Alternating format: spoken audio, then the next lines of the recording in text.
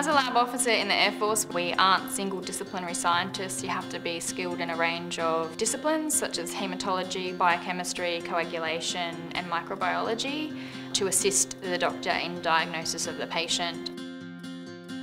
Both my parents were in the military. Um, my mum was a clerk and my dad was a flight engineer.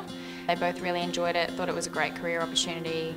I knew I always wanted to join the Air Force, but I just never thought that I would find a career that would fit my desires. However, through contacts that my dad had, I found out that a laboratory officer was available in the Air Force, which allowed me to follow my passion for science, but also join an organisation that I have always wanted to join.